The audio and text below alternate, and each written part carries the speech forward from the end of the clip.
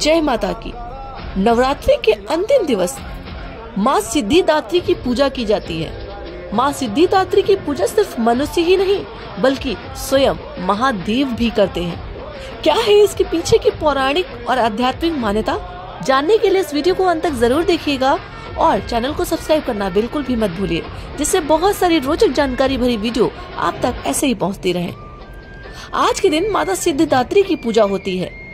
माँ सिद्धिदात्री की पूजा के साथ साथ नवरात्रि का त्योहार समापन की ओर होता है। लेकिन माँ सिद्धिदात्री की पूजा सभी देवियों में विशेष इसलिए मानी जाती है क्योंकि माँ सिद्धिदात्री के पास बहुत सारी सिद्धियाँ हैं। भगवान शिव ने माँ सिद्धिदात्री की कृपा से ही आठ सिद्धियों को प्राप्त किया था। इन सिद्धियों में अरिमा महिमा, गरिमा, लगिमा, प्राप्ति प्रकाम में इसित्व और वसित्व शामिल है।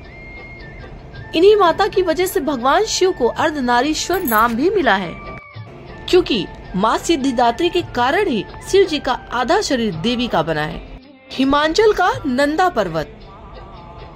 इनका प्रसिद्ध स्थल है। मान्यता है कि जिस प्रकार इस देवी की कृपा से भगवान शिव को आठ सिद्धियाँ प्राप्त हुई हैं, ठीक उसी तरह इनकी उपासना करने वाले मनुष्य को आठों सिद्धियाँ नव निधियाँ प्राप्त होती हैं, बुद्धि और विवेक प्राप्त होता है धन और ऐश्वर्य प्राप्त होता है। अगर बात करें तो माँ सिद्धिदात्री का रूप बहुत ही अद्भुत है।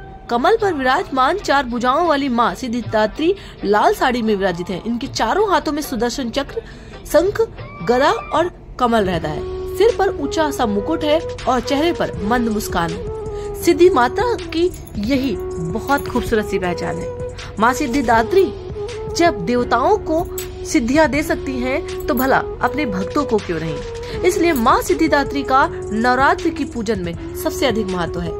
घी का दीपक जलाने के साथ साथ माँ सिद्धिदात्री को कमल का फूल अर्पित करना चाहिए। इसके अलावा जो भी फल या भोजन माँ को अर्पित करें वो लाल वस्त्र में लपेट कर करें।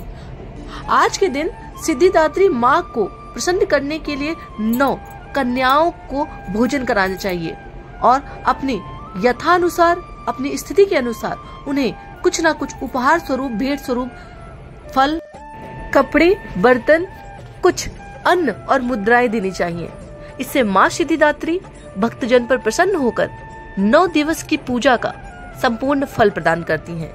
माँ सिद्धिदात्री की कृपा आप सभी पर बनी रहे और ये नवरात्र आप सभी के लिए मंगलमय हो अगर आपको ये वीडियो पसंद आई हो और माँ सिद्धिदात्री की पौराणिक आध्यात्मिक महत्वता के बारे में रोचक जानकारी अच्छी लगी हो तो लोगों तक ज़रूर ये वीडियो साझा करिएगा और चैनल को सब्सक्राइब करना मत भूलिएगा।